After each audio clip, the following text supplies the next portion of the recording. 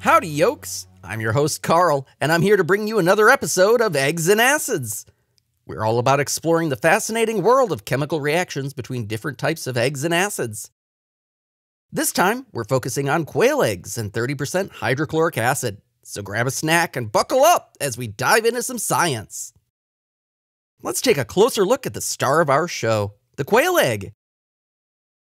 Quail eggs have been a staple of many cultures for centuries, and it's easy to see why. These little eggs pack a big punch when it comes to nutrition. And while they might be small, about the size of a large olive, they're full of rich, healthy fats. And that's not all.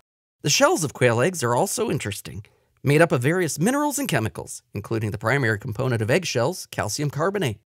They also contain magnesium, phosphorus, and even trace amounts of iron, copper, and zinc depending on their diet. It's safe to say these eggs are no yoke when it comes to their minerals.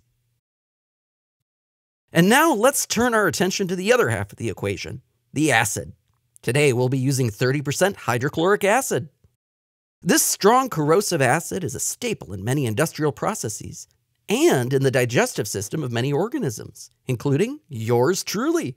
That's right, if you're watching this video, the very acid is in your stomach right now, helping break down your food. But what happens if we take this powerful digestive agent and apply it to something like a quail egg? Will the quail egg's unique composition save it from the acid? Well, it's time to find out. Let's get to the main event the reaction between the quail egg and the 30% hydrochloric acid. Before we start, I've added 100% silicone oil to control any foam that may or may not rapidly develop with reactions like this. Silicone oil helps the bubbles pop easier and keeps the reaction smooth. As we've discovered, quail eggshells contain many chemicals, and when these come into contact with hydrochloric acid, they react to form calcium, magnesium, iron, zinc, and copper chlorides, phosphoric acid, water, carbon dioxide, and hydrogen gas. These compounds have different commercial, industrial, and agricultural uses, from being a de-icing agent to food preservative, from fertilizer to flavoring, and even a catalyst in PVC production. These chemicals can also develop colors such as brown, yellow, blue, and green. So let's see what happens when we put the quail egg and hydrochloric acid together. So many chemicals from one tiny egg. This is going to be exciting.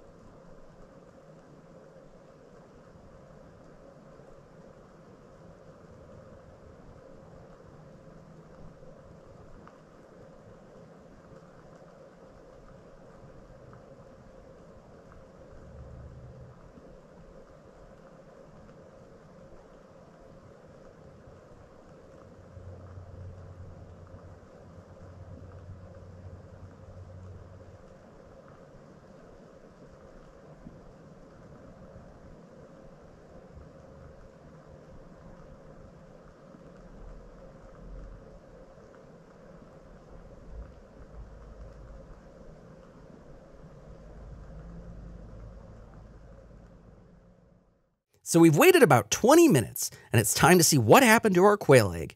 I've used some tongs to carefully remove it from the acid and put it in a bowl. If you look closely, you can see some little flecks of color in the acid. This is what's left of the eggshell. I poked the egg a bit, and it feels soft but also firm, kind of like a cooked egg. So I used a knife to carefully cut it open, and wow, the whites look like they've been cooked, and the yolk looks just like a soft boiled egg. So, why did this happen?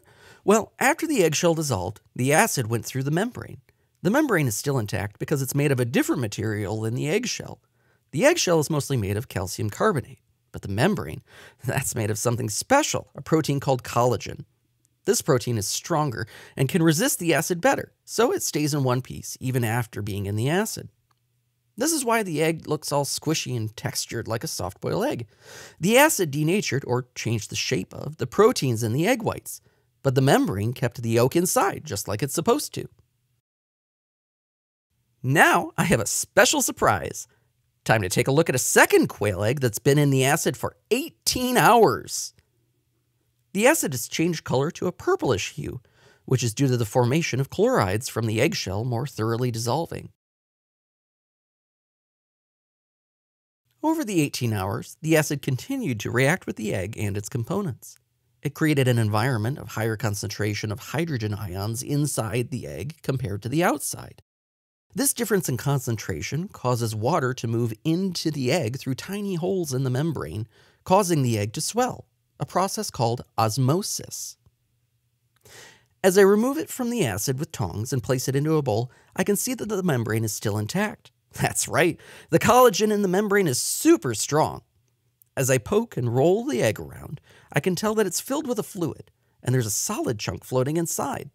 When I tap it, the chunk bounces around inside the membrane. I use my knife to poke the egg, and a stream of acid comes pouring out, deflating the membrane. I can now see the mass inside the egg more clearly. So I cut open the membrane and find an extremely denatured piece of egg, shriveled and gray. I cut it in half, and it's dense, waxy, and gummy bear like in a consistency. In the middle, it's dark brown.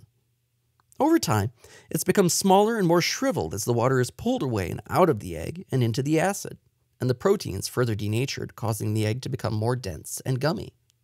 Well, that's a wrap on our exciting adventure with quail eggs and hydrochloric acid. I hope you enjoyed the show and learned something new. If you did, make sure to give us a like and subscribe so you can be the first to see our next experiment.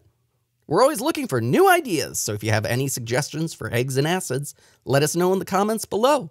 And don't forget to check out eggsandacids.com for some sweet merch. Show off your love for all things eggs and acids.